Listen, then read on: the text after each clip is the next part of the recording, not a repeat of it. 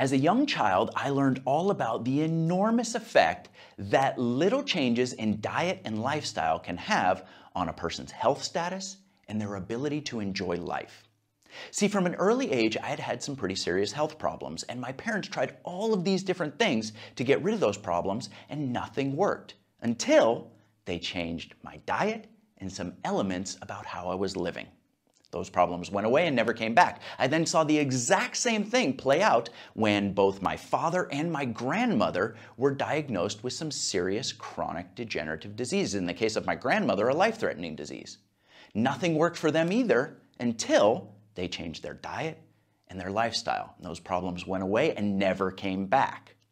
20 years later, I heard a man speak who had the research and scientific data to explain not only why these interventions are so effective, but why they are the best hope for anybody looking to regain and maintain their health for a lifetime.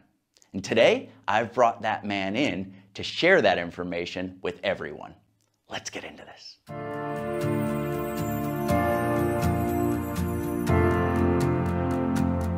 Welcome, welcome, everyone. I have a super special treat for you guys today. My mentor, Dr. James Chestnut, is here with us. He is a chiropractor. He founded Eat Well, Move Well, Think Well, and he is an internationally recognized speaker and a wellness pioneer. Thank you so much for being here, Dr. Chestnut.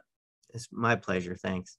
Yeah, my my um we met many many years ago. I took your postdoctorate course. Um, when I when I was still doing my residency in school. So I was in my final year wow. of school, and and uh, one of my one of my classmates handed me an audio CD. So I'm dating myself of you speaking.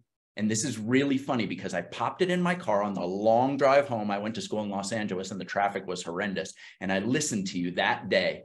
And I was so pissed off because I was like, I just spent six figures on this chiropractic school education and I haven't heard any of this stuff. So where did this guy come from and how can I hear more of him? And that's when I really sought you out. I bought your first four books. That was darn near 20 years ago at this point. And then I promptly enrolled in your program, which made me sweat a little bit because it seemed expensive to a college graduate uh, or a chiropractic school graduate who was up to his ears in, in debt at yeah, the time. But uh, best investment of my life. I bet you got a good return on that in the end. yes, amazing investment. In fact, if I show you the original first four books, they're highlighted and dog-eared, and there's notes all in the column. So yeah, I benefited, and uh, 17 years of chiropractic practice. Many, many, many patients have benefited from your teaching. So uh, first off, let me just say thank you for that. It's my pleasure, and that my greatest reward, as I was just saying off camera, um, is is is when you can make a difference. And and the other thing is your kids are healthier, man. Yes. Like what you learn in those modules allowed you to live a, you know, to understand how to live a lifestyle that gave you and your whole family and everyone that you taught the ability to express your potential. Right. 100%.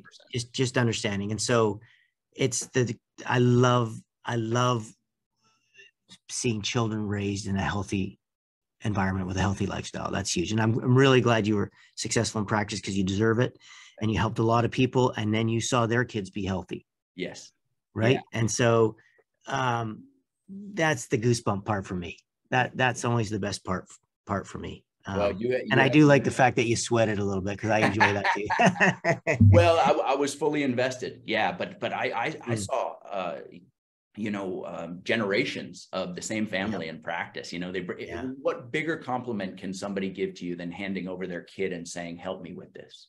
Right. Or asking you about hey do you think i should feed my kid this formula or what? And it's just like well why don't you start by reading the ingredients out loud to me? That's what i'd always do. I'm sure i told you those stories. Uh, and just and they read it out loud and they're like wait wait a minute. This doesn't sound healthy. I'm like exactly. So number one breastfeed but if you can't for some reason um, but you should. But if you can't for some reason, pump. And if you can't do that, then there's a lot. Uh, you know, you could just start from kids early on and just just get them those essential nutrients that they need all throughout their lives. Yeah, but you know, such a huge patient education component in what we learned in your program and you said something to to us and it felt like you were speaking directly to me and you were saying you know, anybody can do the hands on stuff. People don't come to you for that. You said, and I quote, a monkey can do this. Patients come to you for this. And right. that was something super powerful that stuck with me because that was really the foundation for me being successful in practice was everybody walks around nowadays with a damn supercomputer in their hands. I'm not going to blow their minds with anything that I tell them my job was to coach them and guide them and make sure that they they didn't get sucked into uh, misinformation. And and there's ev- there's so many voices pulling on people nowadays. They they really you know it's almost like death by a thousand cuts that is it's like they're bombarded with so much information that it's it's like paralysis by analysis. Yeah and i think i i, I mean i always like I, I, mean i do remember saying that very often but i would I, I would always you know sort of qualify by saying you you adjusting the physical part of adjusting is incredibly powerful but it's the analysis that counts. It's your hands on the patient to figure out where to adjust sure. that nobody else can do. Sure. Anybody can learn the motor skill. Mm-hmm. and the more you practice the better you become at that motor skill and it does make a difference. Sure. you know a quicker a quicker adjustment you know is better than a slow one. You, you get it right? So there is a skill to it and it is a unique skill to chiropractors but the most unique skill is figuring out where to adjust mm-hmm. and then a monkey can do it right you know what i mean like that's not the hard part but the big thing is is telling people why you're adjusting them yes. and telling them what else they need to do in their lives to get it. and stay well that, right? that because the it's the package deal that makes all the difference. You, you can't adjust somebody out of bad nutritional choices. Yes. you can't adjust somebody out of a sedentary lifestyle and you can't adjust somebody out of self-hate or self-loathing or low self-esteem or no gratitude or no integrity right? So so so the adjustment's important sure. but it can't solve problems created by unhealthy lifestyle. Yeah so that was the part that really stuck with me and i, I wasn't trying to to uh, say that it wasn't important. It was hey, open your eyes to all of these other things. You get a very limited time with that patient. Correct. And Correct. teaching them what they can do to amplify their own health and that of their family, like we were talking about, is probably the most powerful impact that you can make on that person's and life. you don't have to think about doing the adjustment when you become subconsciously competent. Yes it's it's such a it's such a learned motor pattern for you and your your your your you know your your uh you know I always call it the Pacinian corpuscles or you know your sensory thing in your fingers like you become so trained sure. that that part's automatic for you. Yeah. Right? You know you can just do it with your eyes closed literally. Mm-hmm. correct? Yeah.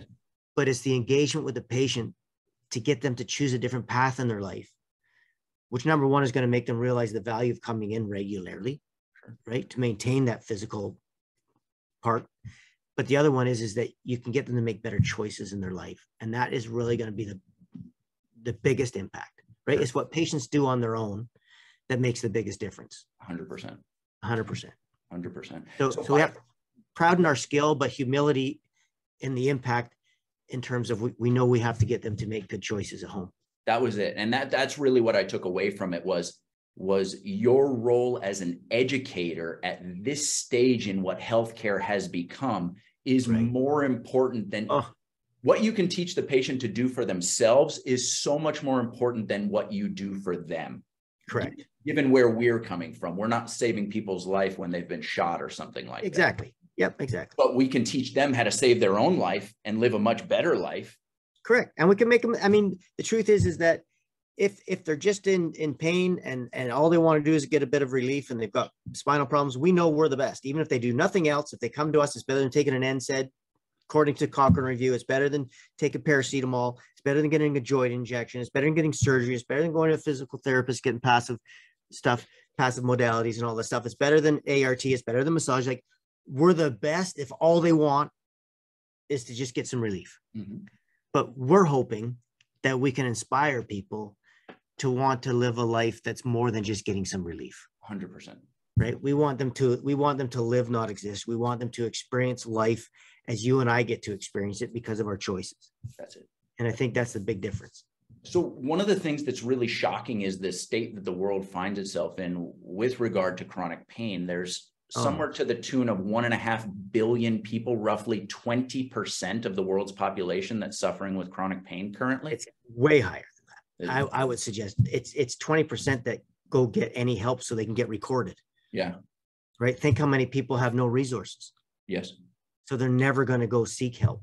So yeah, but uh, one of the things that's really shocking about that is because you hear that figure, you think of the globe, and you think that that one and a half billion is evenly distributed, but it isn't.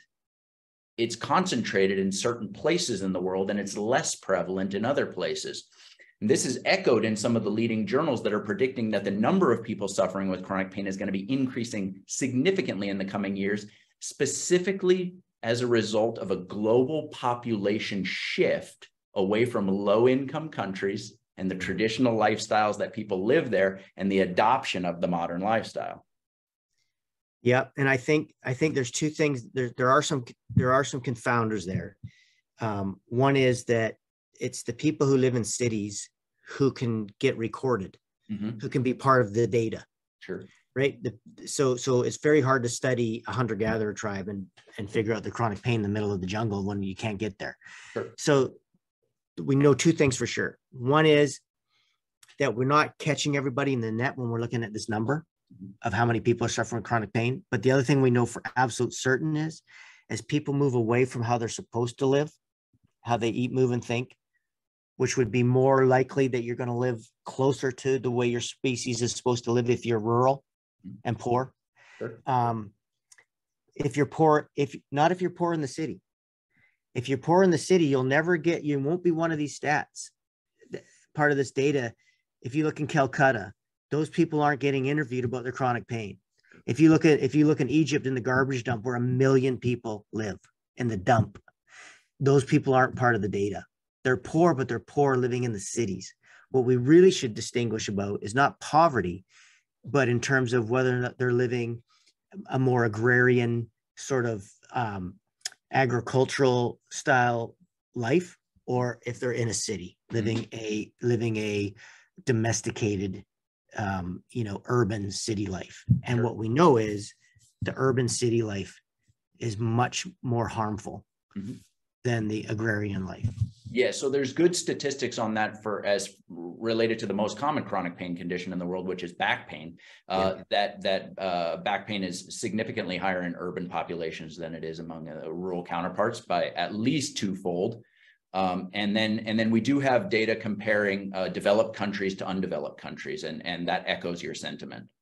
Right, and the the what's really interesting is that white collar back pain is as prevalent as blue collar back pain, mm-hmm. meaning that it's not because people have a job where they lift things that they get back pain, right. because it's as prevalent in people who sit at a desk all day. Yeah. yeah, yeah, yeah. so all this work before about teaching people how to bend when they lift and all these silly, you know, lumbar belts that they, you know, spend billions of dollars on, they're completely useless. Because the truth is, the less work you do, the more likely you are to have pain yeah certainly there's there's there's different types of pain and and we've been taught to kind of think like what you were saying that oh these labor saving devices are going to prevent the pain but it, it turns out nowadays that you know the practice is is full of people who are reinforcing their pain syndromes via lack of movement and right. and being physically unfit to support their own body. Correct. So chopping wood relieves pain. Yeah you know what I mean? Yeah. Not the first time you do it because you're out of shape, but sure. that's not that's the different kind of pain. That's the overuse pain. Sure. You know what I mean? Well, you're not overusing it. It's that you've been. I used to say to all the all the time, people come and say, "Oh, doc, I overdid it." I said, "Well, you know, you worked for two hours out of the last five years. You're not overdoing it, Jack Wagon. You've been underdoing it, and you're unfit and you you know you're under muscled you're under you're everything you're deconditioned to an nth degree and you just went and did something that you shouldn't have even noticed and now you're saying you overdid it. Yeah. You've got to rethink that. You didn't overdo it last weekend. You've been underdoing it for 10 years. Well said. And if you don't see it that way then you're going to avoid even the little things that you did that aggravated your deconditioned body. Yeah. It's the opposite. You've got That's to do it. more not less so you get to that WALL-E, that that Disney movie where everybody's everybody's floating around in a cushion that has a built-in bathroom, and they never have to even lift a finger to do anything. But it's you such know, a good movie. Yeah. Isn't it? It's such a it's such an eye-opening movie if you see it correctly. You that's know, it. If, got, if, you're viewing it through the right lens, it's it's very well done. Yeah, it's so that's clever. That's one of the things that I talk about with my patients is, you know, so much when you're living in the modern world, and I talk about it with my members, when you're living in the modern world, you have to go out of your way to fulfill these basic requirements, you know, park at the further spot and walk a little bit further, take the stairs, you know, it's, it's, it's, uh, you know, chop wood. I chop wood three times a week um, and, and and I go out and just bring in bring in the firewood for the family in, in a place where we don't need fires to keep us warm. Right. Yeah. I just do it because so I want healthy. to And the fact of the matter is, is that you know, um, you you will always look and feel the way you behave. You you, you look and feel according to your chronic choices. Mm-hmm. So if you chop wood all the time, you look like you chop wood all the time you know, if you sit at a desk all the time and eat garbage food, you'll look like you sit at a desk and eat garbage food. Like you might get away with it for a few years, but eventually everybody looks like what they do. Yes. Well said. It's so Correct. funny too, because it feels like what they do. That's it. Uh, well, they go in hand in hand, right? Of course they do. Yeah. So it's it's so interesting that the the beauty aesthetic that is innate to most people is a body that is obvious that they engage in physical work. 100%. And then and then most people don't want to engage with a smile work. on their face. Yeah. And kindness in their hearts. Yeah. So you mentioned there a second ago, uh, if you eat garbage food, you're going to look like you eat garbage food, and you're going to feel like that too. One of the things that I really wanted to to talk to you about on on this um, on this call is your take on the dietary practices in 2022 and 2023. There's a lot of very vocal people out there who have huge followings who are advocating very extreme positions when it comes to human dietary intake. And I, and I think probably no one is more well versed on the scientific literature regarding the innate requirements for human diet than you. So, what do you think about people who are t- taking these very extreme stances advocating carnivore diets for the general public and things like that and people who are profiting uh, by instilling a fear of plants into yes that's well this is what i try to say to people. Step back and look at it as a biologist.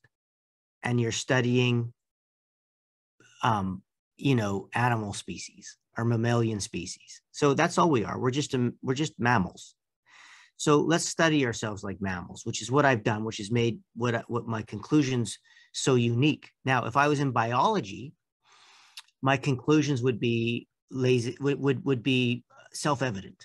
If we were studying any other species other than humans, we would say, well, the diet for a giraffe is the giraffe diet. It's the diet that giraffes have evolved with and and you know adapted to over millennia. So there's a species specific diet for giraffes. That would be true for for monkeys. It would be true for for rabbits. It would, you know what I mean? So in other words, each species has a diet. And that diet is based on millennia, you, you know, of of of of the of the species adapting in in concert with the environment so that each species now has a very specific genetic recipe of what it requires in terms of ingredients to produce healthy structure and function. That's no different than humans. I won't go too down too far down the, the rabbit hole, but just if people could just step back and go, well, what's the human species diet? What is the diet that fueled human evolution? What is the diet that we are required genetically to consume? What are these nutrients that we need? And if we don't get these nutrients, we can't produce healthy structure and function we must have these in order to produce it. And that's true of all of us because we all have the human genome. We are all so similar genetically that you can take any human being from anywhere on earth and mate that human being with any other human being on earth, and they can produce offspring. That's how similar we are genetically. So we all know we all need the same nutrients. We don't have to eat the same diet. What a diet is, is the foodstuffs that you consume in order to get the nutrients you need you can get nutrients that are very similar from different types of foods. So when you lived in Africa, when we all lived in Africa, when we started to leave Africa, you know, we had to find different foodstuffs that contained the nutrients that we need. So when you left Africa and ended up in, you know, around the North Pole, you weren't going to get a lot of fruits for vitamin C. So you had to eat seal skin, which are full of collagen, which you get your vitamin C. You were going to eat a ton of omega-3 fatty acids from blubber. You weren't going to get it from, from, you know, wild, wild game meat in the same way. So what humans did is they, as we moved around the planet, is they all, in order to survive, they all had to find sources of these essential nutrients that are matched to the human genome or the human species requirements. Mm-hmm. That's the human diet. So, what I can tell you is clearly the human genome is not suited for a carnivore diet because that's just not a human diet. However, it is suited for a diet which is much, much higher in protein and fat than the food guides would tell you. There's no question about it. The food guides were utter and total disasters. They created a, an absolute pandemic of obesity and increased cancer and heart disease. The food guide was had nothing to do with science and the human diet. It had everything to do with the with the with the uh, uh, um, promotion of agricultural products that American and Canadian farmers were producing and European farmers. Yeah. So the food guide is a joke. So once that happened, and we realized the food guide was such a joke, and people are now admitting it, like you need dairy and grains as the basis of it. That's ridiculous, right? So um, it it opened up the door for people to come out with these extreme diets. And what I'll tell you is, because the the actual uh, so-called expert, the food guide recommendations are so despicably unhealthy for humans, virtually any change from that mm-hmm. will produce greater structure, healthier structure and function. Not what it's supposed to be, but I will tell you, if you ate a carnivorous, like the paleo diet, or you ate any of these other diets, or or you went vegan, or you went vegetarian, instead of the of the actual diet the so-called experts recommend, you're better off than that. Mm-hmm. You're just not anywhere near as as healthy as if you ate the diet that's suited for the human species. Very well said. So that, that's that's a situation where your your body has certain nutrient deficiencies. I just i just read a study uh, that was published in 2021 that showed that roughly 60% of the american diet is coming from ultra processed foods. So what you would say is a carnivore diet is certainly a vast improvement over consuming 60% of your calories from ultra processed foods but it's yeah. not what's optimal.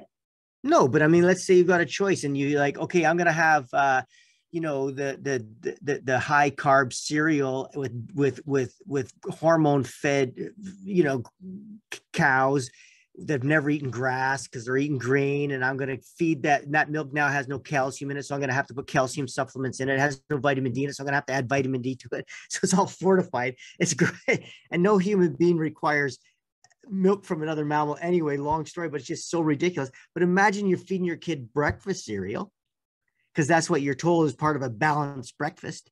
Mm-hmm. But the other person says, I'm going for the carnivore diet. I'm going to feed my kids six eggs. Mm-hmm. Yeah. Which kid's healthier? Yeah. Six eggs every time? Yes. Yeah. Yeah. 100%. The, the, the 100%. the only thing that drives me uh, a, a little crazy about it is, is that they, they push forth this idea even on any level that that that chronic degenerative disease is because people are consuming too many vegetables you know watch out yeah. for watch no, out for- no no good evidence for that whatsoever um, nutrition studies are very hard because it's very hard to isolate a food sure. and find out what the effects of that food are because that food is being consumed with a whole bunch of other foods no matter what sure. there's no diet study that said you can only eat broccoli sure right number one number two what that food does to you how your body utilizes it or what negative effects it might have is profoundly influenced by your level of exercise. Sure. And it is profoundly influenced by your state of emotional well-being or psychological fitness. Yes. Because that changes your hormonal levels to an an, an, an incredible degree. Yeah. So so it's very hard to get good diet studies mm-hmm. because of those reasons. Sure. Right. Sure. But what I can tell you is there's some common sense and logic to this if we look re- retrospectively to our ancestors, even our near ancestors who were basically farmers, right? Before we, before this agricultural sort of like the industrial agricultural after World War II. But if you go back to people who ate a lot of vegetables, because there was lots that did, right? When you look at the diet of people, you know, that the rural sort of farmer that that was, you know, throughout m- most areas before World War II. Well, they were eating all these foods that people are now telling you are going to kill you, right? They were eating lots of these vegetables, and they didn't. The cancer rates weren't the same. The the, the degenerative changes weren't the same. The heart disease wasn't the same. The obesity wasn't the same. The diabetes wasn't the same. The cancer rates weren't the same the depression and anxiety and suicides weren't the same, but they they were consuming all these foods, right? But they weren't consuming the processed foods, and they and they weren't consuming the, the medications as much, and they were moving more, and they had more social support.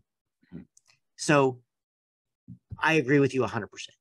These people who are trying to come out now and tell you you're going to drop dead if you eat broccoli, yeah. Now there are some vegetables that are worse than others, and some fruits that are worse than others. There's there's no doubt about that, and a lot of them now have been modified so much. Um, you know, we could question that. I think, sure. but the fact of the matter is, if you eat a diet that is rich in fatty meat and vegetables and berries, you're one healthy son of a gun.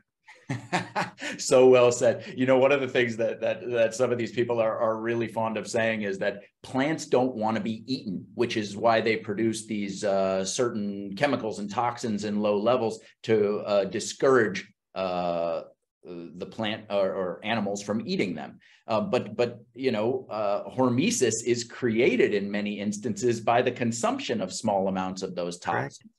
And, uh, Correct. Uh, and and some of them are methyl donors, which really have an effect on your epigenome, which really they're they're proven to like broccoli is one of the few things that have been proven to reduce cancer. Sure. I mean, literally the methyl the methyl donor. But what they've done is they've taken the very good evidence about about gluten, about grains, which humans are not designed to eat. Genetically, that's not part of the human diet, nor is dairy. No grain, right? Because but grains do produce anti-nutrients like gluten and gliadin. And the reason they do that is to protect their offspring because grasses, their babies are seeds, mm-hmm. grains. Sure. And they drop to the ground. And what they do is they want to be eaten, but not broken down. So that when they get pooped out by the bird, you got their offspring with fertilizer. Sure. Yeah. Yeah. And humans never evolved eating grains. We would have starved to death trying to gather them yeah, yeah. as hunter gatherers before farming, right? So we never developed the digestive enzymes to deal with those. Neither did cows. That's why cows get so sick when you feed them grain, yeah. but not the grass. Yes. And so, but people have taken those concepts, which are true, and they've tried to apply them to anything that isn't a steak. Yes. Which is false. Yeah. So, and and the thing that I always wanted to say to them when they say plants don't want to be eaten is, uh, uh do you think those animals want to be eaten? Correct like yeah exactly like you know like why don't you hand hand wrestle a bison and, and tell me if it wants to be eaten? Yeah. Yeah i mean that that's a different story if you're killing your own meat. I'm sure i'm sure that they would like to find out what it's like to go hunting and and and clean the animal themselves and prepare it to be eaten. Well there's no doubt that the healthiest people on earth were very very um, had diets which were very high in meat. Yeah. No no question about it but that meat was grass fed sure they had to work very hard to get it. Yeah. Walk miles and miles and jog and run and and you know then they had to carry it back. Then they slow cooked it generally. Yeah. Um, and so, but the reason they were healthy from that meat is is it doesn't matter where your protein comes from. An amino acid is amino acids, but that meat was full of omega three fatty acids, and that's the key to the grass fed meat. That's mm-hmm. what made humans humans. Our brains, our cortex, what what differentiates us from from from uh, our closest relatives, which are which which are the primates, the chimpanzees, the other primates, we are primates, is our cortex, and our cortex is made of omega three fatty acids, which we got from meat. Mm. Period. Yeah, so it, it's it's not the inclusion of meat that's the issue. It's the issue that they're they're you know pushing forward a fear of plants, you know, to yes. a population uh, that's it's really a very nuanced conversation. I think you presented it perfectly. It's not the inclusion of meat; it's the inclusion of meat to the exclusion of everything else. Correct. Yeah. And, and and assuming, especially these paleo people, that all meat is created equal. Yes. So just you know, eat, eat your eat your face off of of grain fed bacon. Yeah. And it's like, you know, well, wait a minute, like that's just a corn delivery system. If the cows just eat corn till they're sick and get, I mean, ninety percent of cows in these feedlots have have liver tumors in six weeks. Yeah. And so it's like there's a huge difference between and, and and every study that comes out and says, well, people who eat less meat are healthier, so you shouldn't eat meat. That's just stupid That's Mhm. as ignorant, re- understanding the science. It's bad meat. Yes. So good meat is healthy, bad meat is unhealthy. So that's that's a very it's a very uh, it's a very important point and and one of the things that people talk about in in the fitness space very often nowadays is is calories in versus calories out with no consideration whatsoever of where those calories are coming from. And I think that's also doing a, a disjustice to uh, a disservice to people uh, because you know a, a body that consumes 1500 calories a day from high quality omega 3 rich meat and fruits and vegetables is going to look very different than a, a body that that consumes 1500 calories from McDonald's. A hundred percent. Yeah. like just there's just no there's just no debate about it. And not only that, but these high carb diets also change you hormonally. So you get insulin resistance. Then you've got, you know, it it it, it completely changes your ability to to um to burn fat. And and so there's no doubt that the same amount of calories of a high carb diet, because what's interesting is this obesity pandemic that's just gone crazy over the last 30 years. I mean, we're talking six, seven, eight hundred percent increase in obesity Yeah. and diabetes, type 2 diabetes, um, has occurred without a, a major change in our caloric consumption. So how do It's you the- explain it's that? the type of because we're eating high fructose corn syrup. We're eating things that change our body's chemistry so significantly. Mm. Um, so that we're so that we're not we're not, not we're not able to burn those calories the same way. We store them because we have high sugar, high blood sugar all the time and you're and, and we combining get, that and we get insulin resistance which Yeah. changes our energy levels you know it changes everything makes us more likely to have osteoporosis more likely to develop cancer more likely to develop to, to develop heart disease it's totally pro-inflammatory so yeah it's really interesting but if you look at the obesity it's not over the last 30 years our our obesity our obesity rates have done this yeah. but our total caloric consumption per day, even our energy expenditure hasn't gone down that much. It's the type of food we were taught to eat because this ridiculous uh, low fat craze came out, and everyone was told, don't eat fat. Fat will make you fat. Eat sugar. Sugar won't make you fat or carbohydrate. And it's the exact opposite is true. And they were actually busted and got caught because they had paid John Hopkins to lie about the sugar industry, had paid John Hopkins to lie and create a study that said sugar doesn't make you fat, fat does. The exact opposite is true. Wow. So so the obesity epidemic has skyrocketed while our calorie consumption has stayed relatively even Relatively the same. And our physical activity has stayed relatively the same. And so it's. So it's precisely proving that calories in, calories out is is not valid. Where the calories Absolutely invalid. But Yeah. just watch. Let's just do a study with like genetically identical twins, right? So that means there can be no genetic uh, variable because they have identical genes. Mhm. You feed one 1500 calories of, you know, Froot Loops and cheesecake and bread, white bread, and the other one you feed 1500 calories of the innate diet of, you know, grass-fed meat, uh, you know, berries and and vegetables. Mhm. Who do you think would be healthier after 10 years? Sure. I mean- Exact same calorie consumption, exact same genes. But I think you could take anyone, James, who who who has no knowledge of nutritional science whatsoever, and they would get the correct answer to that question. hundred percent they would. Of course they So, would. so that brings me to a, a story that you tell in your book here, uh, which is phenomenal, and I recommend for everybody. Um, I'm gonna do this. Watch this. I'm gonna do this because this is the new book, which has all that and a little bit more, but but apparently much easier to read for the lay public. Okay, awesome. So I, I have that one on order now, so I'll I'll, Okay. I'll be able to promote it soon. But So they Um, could just go to eatwellmovewellthinkwell.com and get get those books. Okay. Um, One of the stories that's incredibly powerful that you tell in that book is a story of you visiting a friend of yours who was diagnosed and treated for cancer in a hospital. And you were shocked by what you saw in that hospital. You saw, as you describe it in the book, a gentleman in a wheelchair with a urine bag on the side of him eating a donut while drinking coffee. I That had a purchased in the hospital. yes, so there was a donut shop in the hospital. In so the I, hospital. I had a similar situation where I went to visit a patient and a friend of mine who had undergone a very serious surgery for cancer. And, and while I was visiting him in the hospital, they brought him the food and my jaw dropped to the floor when I saw what they brought this man to eat. You say in your book, there are no consequence free choices. Correct. And I, I love that quote. How can we have a situation that you just described with the study on the identical twins, where we feed one Froot Loops and cheesecake and the other high quality meat and vegetables, and people get the answer to that question right, and yet there's still a disconnect, Dr. Chestnut. There's a disconnect between that understanding and people's behavior. Well, sure, because well, think of the hospital diet.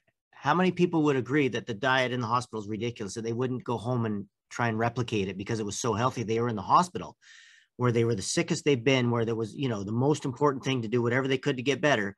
And the diet they got in the hospital was so good that they want to go home and replicate it. Nobody would say that. Agreed? Sure. The disconnect comes from people in authority. That hospital has about six different people checking which pill you take, and nobody except the dietitian that follows the four food groups, some, some so-called expert, cares about what goes in your mouth from food because they don't see that as part of the healing process. They don't see it as important, and they have all the cultural authority. They they they are seen as the experts. They may have one to two hours of nutrition tops, but they're still seen as the experts. They might not have no ability at all to get a sick person well. They can only treat their sickness. They might have no idea how to prevent illness or, or, or even have an intelligent discussion of why the illness occurred in the first place, but they're still seen as the experts. And because it starts there, and they can and and the same people who you know big pharma and big food the same people who run all these commercials and who fund all the medical schools and do all the stuff they literally get to control really most of the information that people get so people just don't really consciously think about, um, you know, the consequences of their choices in terms of diet because everybody around them is doing the same thing mm-hmm. and they just don't equate it to the cause of their illness. But if you said to somebody, would you, what's better, an apple or a donut? Everyone would say an apple but they'd still eat the donut because they don't really see the donut as the thing that's causing them to be sick and obese and cancerous and whatever else. They they're just told so many times that it's their genes or that it's just bad luck or whatever. It's not bad luck, it's not bad genes, it's bad choices and bad advice, actually. And so that's what I try to do with my book is I try to show people with unequivocal evidence that there is a direct relationship between their health, whether or not they get chronically ill, whether or not they ever get better, whether what you know whether or not they have a, a, high quality of life and enjoyment, and and their choices of how they eat, move, and think. This is now irrefutable. I would I could very happily debate this with anybody on earth, and in fact, you could bring a hundred of the anybody you want, and I will happily debate them myself publicly about what the cause of chronic illness is, whether or not it's bad genes, bad luck, an inability to regulate your own cholesterol, or moods or body weight or whether it's it's lifestyle and environment habitat and lifestyle. And i can win that debate. Yes i i, I, I just need people to know it and act upon it. Yeah so that's actually one of the things that i, I wanted to do like a, a thought experiment with you so I, I, looked up the statistics from the united states centers for medicaid and medicare services and according to their figures the United States spent $4.3 trillion in 2021 on healthcare, which works out to darn near $13,000 per person in the United States. I then That's compared, doubled, by the way, in, in about a decade and a bit. It used to be 6,700. That's it. It's, it's, it's gone up significantly. Oh, it goes crazy. Yeah. So uh, one of the things that they, they publish in this amazing uh, stats uh, report is the United States spending in comparison to other industrialized countries throughout. The, and I get, and from that nod, I'm guessing that you've seen this report.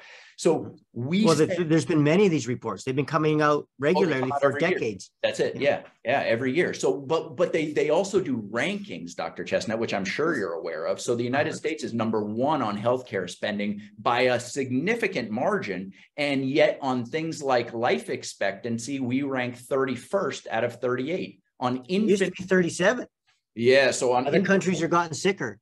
You haven't gotten healthier. Other countries have gotten sicker. And infant mortality we're 33 out of 38 correct. Estonia which spends less than a quarter of what we spend is ranked first. Correct. So I, I it seems like we're not getting a very good return unless an unless an estonian moves to, to the united states. Exactly. then they get as sick as everyone else. So it's not the genes of these people Yeah. Because we know if they move around, right, they end up getting the illnesses that are prevalent in the lifestyle of wherever they move, right? Hundred percent. Yeah, hundred So percent. there was there, so there was that that tribe of Indians on at the Arizona border with Mexico, where half of them lived on the U.S. side and half of them lived on the America side, and they found that the Mexican side had way less diabetes. And as soon as you took a person out of that environment and moved them onto the U.S. side, the incidence of diabetes matched the environment. And what do they learn? They learn you're di- you, you know what? You're Hispanic. You have a greater susceptibility to diabetes. You're was the- black. yeah. You have a greater susceptibility to diabetes. And I said, well, wait a minute. How many blacks had diabetes in Africa 200 years ago? That's right. Zero or Zero, zero, zero. Right. How many, how many, how many blacks right now living the hunter gatherer lifestyle, the direct, you know, ancestors of the people in America who are obese and diabetic? How many of their ancestors, you know, or relatives who live in Africa and still live, you know, a relatively sort of healthy lifestyle? How many of them have diabetes? Zero. How many people in Mexico, you know, have diabetes that don't live in the city or 200 years ago? Remember, the genes haven't changed That's it. in 10,000 years, but let's just go back 100 years ago. How many Americans were obese? Very few. Very few. Look at that. I mean, look at this, the, the size of the seats in the stadiums. Look at like at the airplanes. Look at like we we have all this data to show over the last 75 years that every chronic illness has gone like this. Yes. The genetic change has done zero. Yeah. But the chronic illnesses have all done this. How can we blame genes Yes. Well, that, that that's exactly what I was saying uh, because it relates directly to chronic pain because you're seeing exactly the same things. And in fact, yeah, Chronic you pain's a chronic illness. that's it. That's it. So That's so all it is. the thought experiment that I wanted to pose to you is it seems like the United States is not getting a very good return on their national investment, to say the least. to say the least. Neither is Canada. Ne- ne- neither is the UK. Neither is any New Zealand. Any of these Western countries or Some of the European countries are better than are, are quite a bit better because they use. Uh, they, they they they they're so much less medicated. Yeah. They're so much more likely to walk because they just the lifestyle, right? They take trains. They all don't have automobiles, so they walk to train station. They walk to work. So their lifestyle is very different. Their food is much better, Yes. and they take way less medication. Yeah. So in in and so the medication point is interesting because in 2018, the Lancet did a huge study on the most common chronic pain condition in the world, which is the leading cause of disability worldwide as well, which is back pain. And their quote that the researchers found after going through all of this was that much of the care for this condition is unnecessary, ineffective, harmful, and is making the problem worse. One hundred percent. The treatment, all that money that we're spending, that 4.3 trillion dollars. Now, obviously, all of that doesn't apply to this one thing that I'm talking about, but the point is that we're hundreds spending- and hundreds of billions are spent on back pain. It's also the leading cause of early retirement. Yeah. Um, it's the it's the leading cause of disability. Sure. It's it's a massive, massive pandemic problem So all this money that we're spending is leading to worse outcomes. because there's not a shred of evidence for anything in usual medical care for this problem, and they will not refer to chiropractors, which has the only evidence-based intervention Sure. in terms of a passive intervention, Sure. which is a, a chiropractic adjustment or, or, or SMT.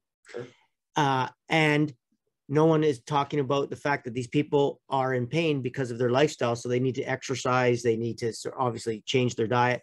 And so, you know, again, you'll remember this is what I've been teaching for 20 some odd years, which is to say, get you know get the patients moving get their joints moving get them to go home and keep them moving get them to, to deal with the inflammatory diet get them to deal with the with the emotional stressors and you know, lo and behold these people who are apparently incurable are all of a sudden have a good life.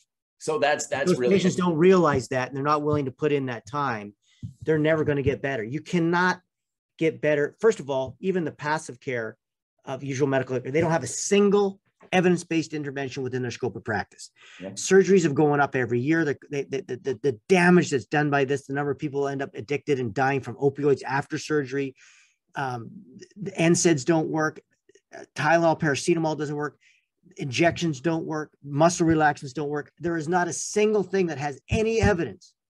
And yet these people are still saying, well, don't go to chiropractor. We need more evidence. so And ama- yet the, the evidence is so clear. yeah, Chiropractic is ama- no- by no stretch perfect, but is by far, by far the most evidence-based intervention in the history of spinal health care for, for back pain. Sure. And we've known this for decades, but people just don't want to give up their reimbursement monopoly or their cultural authority monopoly. Mhm.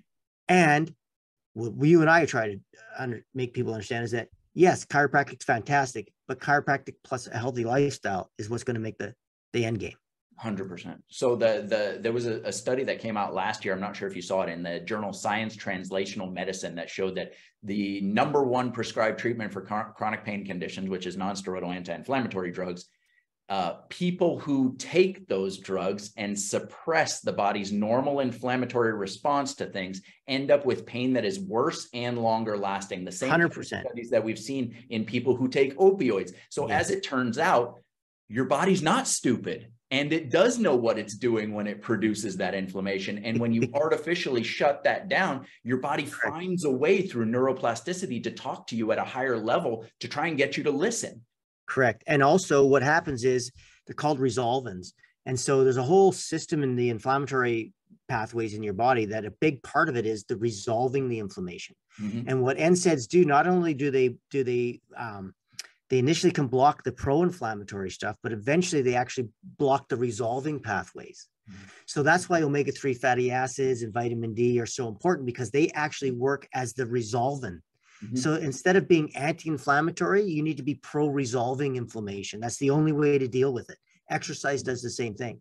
Yes. So this whole idea of anti anything is absurd. The body's all designed to deal with these things. So you need to support the body with these essential nutrients that can only resolve inflammation if it has the essential nutrients required for the resolving inflammation pathways. Mm-hmm.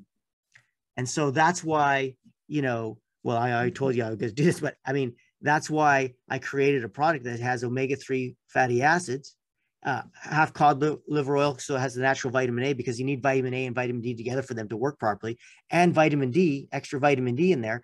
So now you've got the two most important nutrients for resolving inflammation omega 3 fatty acids and vitamin D. And you've got the synergistic amount of vitamin A from the cod liver oil, naturally occurring.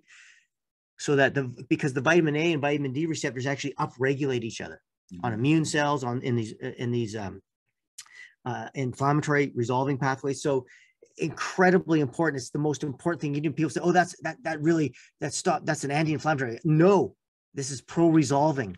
Mm-hmm. This allows your body to resolve the inflammation.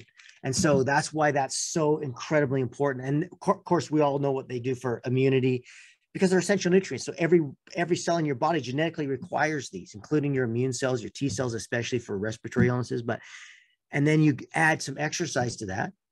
You're at the chiropractor getting your joints moving, breaking up that scar tissue so you can actually get the moving properly, which again produces the neurology, which helps to be anti-inflammatory and, and help you control those muscles better and have more comfort. Then you eat properly as well, and you know, proper diet, and then you deal with the emotional part because pain is an emotion Sure. Pain is defined as an emotion. Um, it's it's it's the it's the emotional response to nociceptive input that reaches your cortex. Pain is felt in your brain, not in your back, and so um, you know when you start dealing with with with those stressors as well, the whole system just calms down.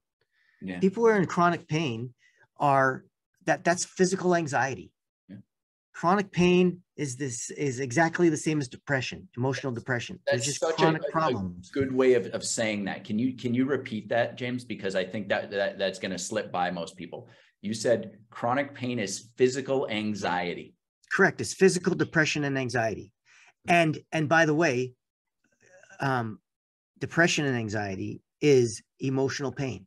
Yes it's right it's emotional discomfort they're it's, the same. They work in the same pathways. They actually meet in the brain in the similar areas at the locus coeruleus and the amygdala and the and the hypothalamus. So, like once you understand, and we talk about this all the time as chiropractors, once you understand the cause, once you understand why things are occurring, and then you would make this assumption. This is what makes us different. We make the assumption that the body has evolved through millennia, right, to to express healthy structure and function.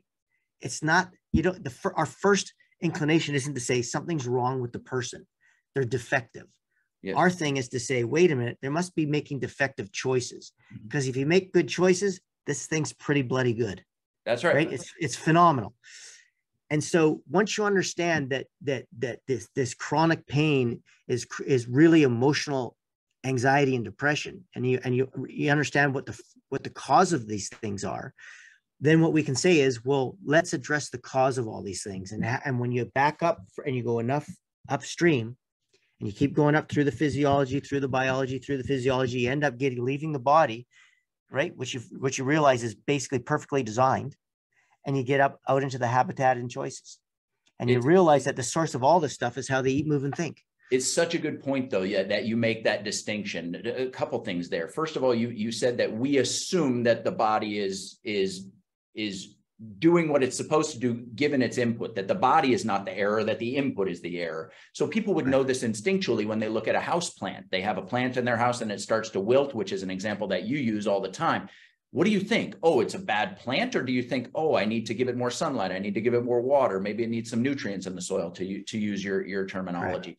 But with humans, we've been taught to make a different uh, assumption when when we see ailing health. You also brought something up there which I love and I'd never heard you say before, which is chronic pain is a, is physical anxiety. Now the neurology of that is complicated, but it, it reminds me of that that that old story of the blind men who are feeling the different parts of the elephant. Well, which part is the elephant? It's all part of the same thing. Correct. Yeah. And so if you if you address any part of that cycle, you're positively influencing the entire cycle.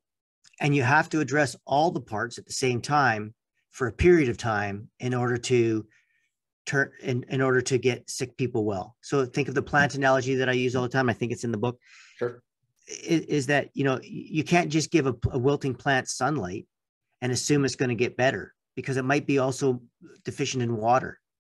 And you could give it water and sunlight and and then but if you don't have a healthy nutrients in the soil the plant can't be healthy. So you have to give water sunlight and nutrients at the same time for a long enough time for that plant to recover healthy structure and function and have a, and, ha- and have total plant health.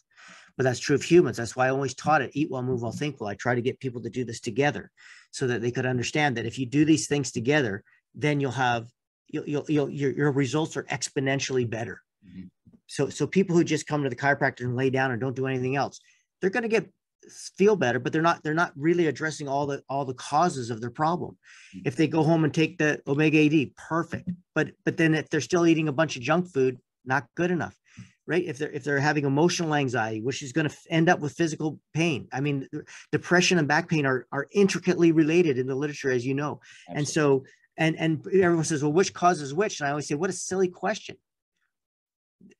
They're coming together right always right? Two and so exactly one can cause the other and the other can cause the other. I mean it just it's it's a big it's a it's an ecosystem then you can't separate mind and body it's ridiculous. And so if we can teach people to say look um, here's some simple things that you can do to start out in terms of changing how you eat move and think. You don't have to you don't have to give up everything that you're uh, all your bad habits right away. You don't have to all of a sudden become you know one of these uh, you know you know uh obsessive sort of you know you know weight weight trainers or marathon runner or whatever. But if you just turn that ship around and you and you start giving your your body some of these nutrients that is starving you know they, deal with this with this hidden hunger of essential nutrient deficiency the nutrients of omega-3 and d the nutrients of you know uh, you know healthy fats and protein the nutrients of berries and some some vegetables the mm. nutrients of walking or exercise that's a nutrient. Exercise is a nutrient to your to your body and brain. If you give yourself some gratitude gratitude and love are nutrients. Humans cannot live and thrive without these things.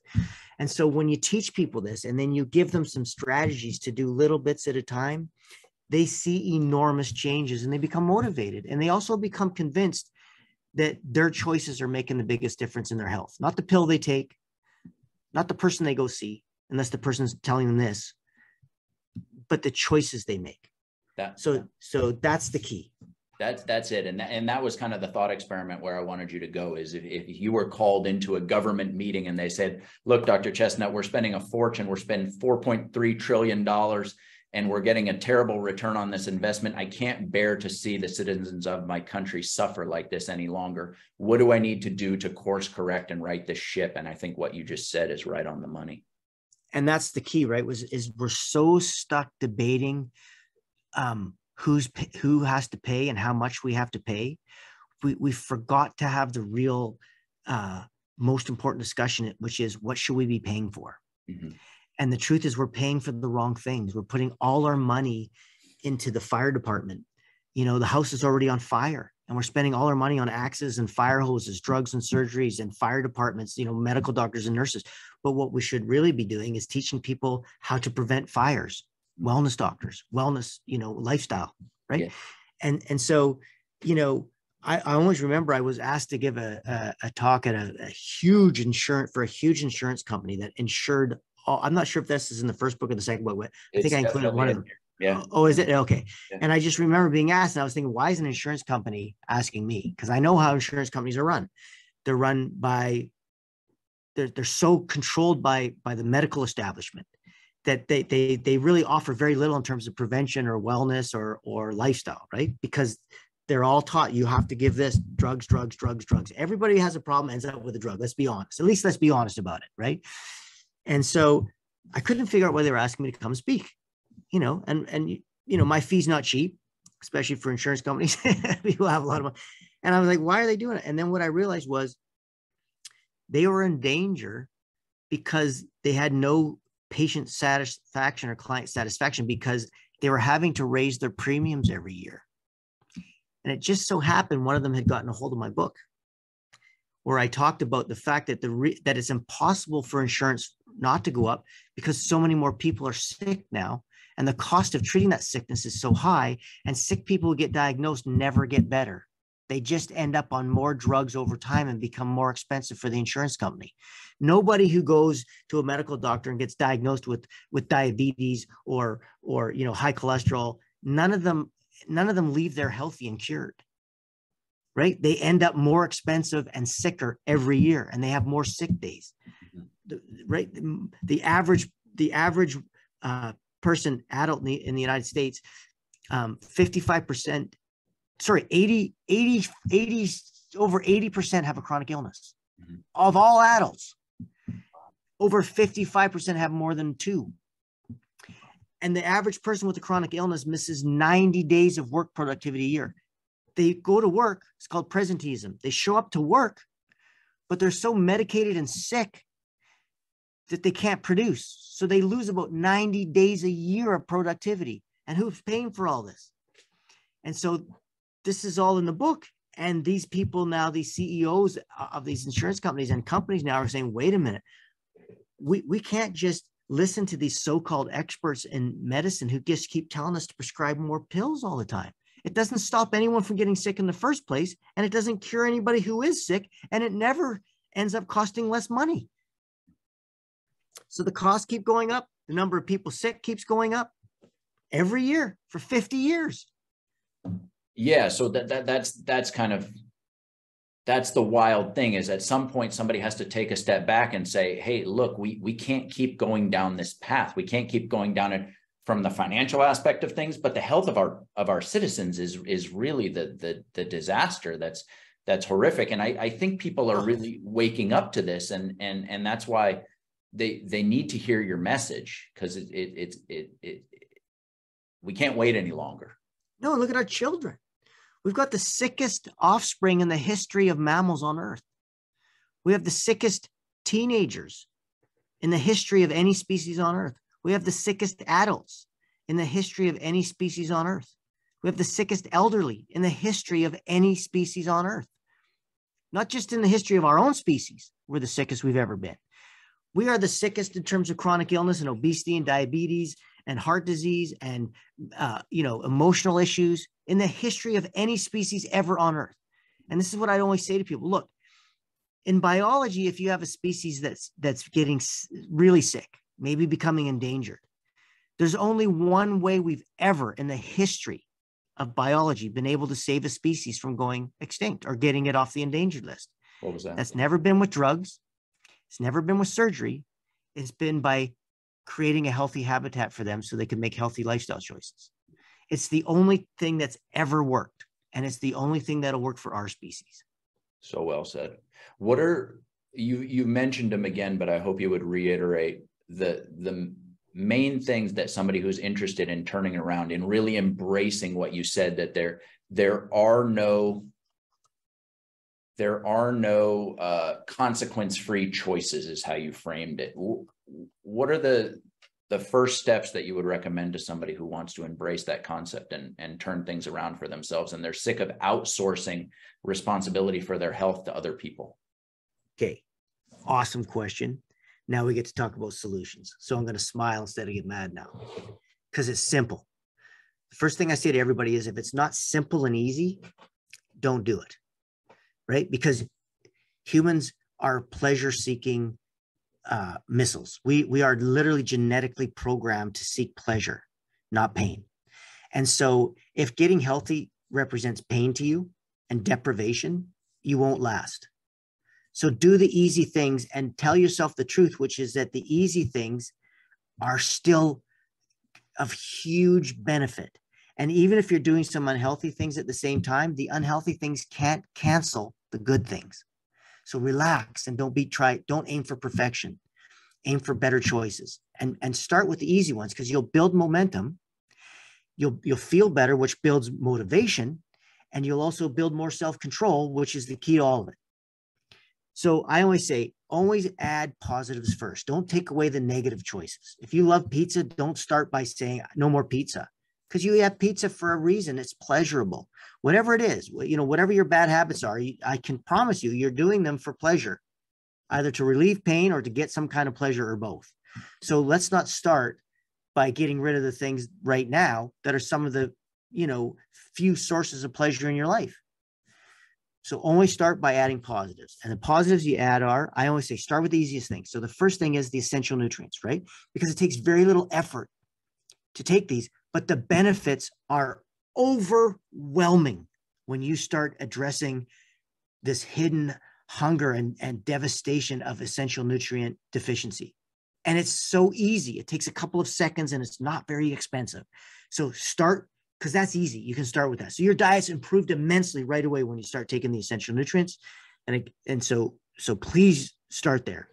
Second thing is just start having more fresh fiber first. So what, what I say is just add some kind of raw berry um, or vegetable to every meal. Could be a handful of some people say well dr Jensen, I, I only like raspberries or i only like blueberries or I, I only like carrots. Well then that's what you have. I don't care. Just have some kind of raw fruit or vegetable right? But but make that not the melons because they are high in sugar but like berries blueberries raspberries blackberries something like that um, if you can get them from a local farmer that's better if you can't it is what it is buy frozen they're actually better because frozen ones are the ones that are ripened on the vine and they freeze them right away so they don't rot the ones that you get fresh are actually picked long before they're ripe. And it's at the time of ripening that all the good nutrients are put into these fruits and vegetables. So you're actually better off, believe it or not, to get frozen if you can't get local. Great tip. Okay. So you're going to eat some kind of fresh fiber first. Then you're going to find out some, you're going to, you're going to um, try and fill up all the time on a healthy meat, fatty meat. So chicken with lots of skin on it um, a, a, a, if you can get grass fed and you can do it, good. Get that grass fed steak. You know, whatever you can get. Lamb is always good. Lamb and turkey are really good because they don't they they they don't um, industrially raise them the same way that they do cows and chickens. So yep. turkeys all have to be free range. Birds are meant to eat grain. So when you grain feed a bird, even a chicken, it doesn't have the same devastating effect on on the hormones of that animal and the and the and the type of, of meat that you know what's in their meat like it does with cows. So if you can go to turkey great chicken next then you go lamb. Those are healthy meats for sure. Eat as many eggs as you can get in you including the yolks of course. That's where all the good stuff is. Um, and then go for a walk or some kind of physical exercise every day. Doesn't matter how long it is if it's one minute doesn't matter but go for a walk and on that walk have a gratitude um, a mantra i call it. So so what, what i say to people is that gratitude is free. It's objectively real.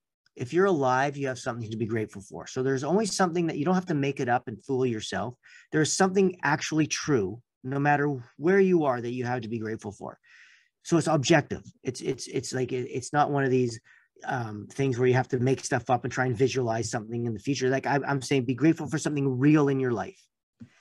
And, and gratitude is free. It's incredibly powerful. It changes your focus from a problem. Absolutely. Because you can't be grateful and sad at the same time. It's just not possible. And it's an opiate. Yeah. Gratitude is an is a natural, uh, non-addictive opiate, and what it will do to your pain levels, which are very emotional, yes. what it will do to your whole life.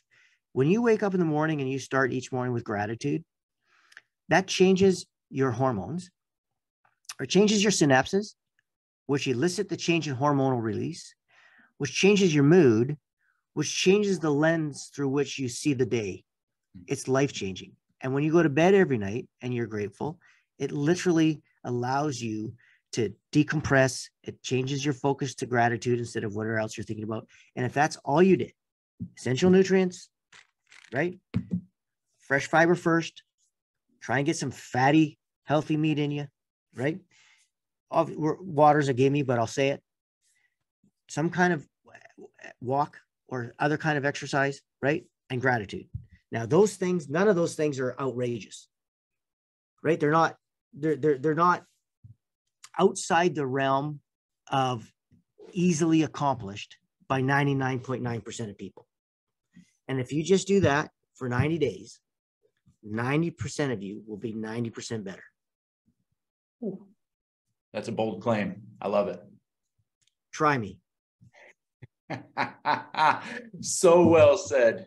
Dr. James Chestnut, you have made an enormous impact on my life, on my family's life, and on hundreds and thousands of patients and members of mine. And uh, I can't thank you enough. Thank you. Isn't that neat? I get to do that with thousands of chiropractors and thousands of patients for each chiropractor. You know, and and and to the general public too. But I I just think that's the thing that um, you know when I'm grateful every day because I practice it. That's one of the things I'm most grateful about, which is the fact that um, you know I can have a life that actually um, helps people to have a better life. And I know you have the same. And isn't that the greatest? Thanks so much for watching. I really hope that you enjoyed getting just a small taste of the powerful information that Dr. Chestnut has to share. To find out more about the incredible work that he and his team are doing, you can go to eatwell, I'm going to include links for that in the description down below. But before you head out of here, make sure to give the video a thumbs up and subscribe to the channel so that you're updated when the next video comes out. That's all for now. See you next time.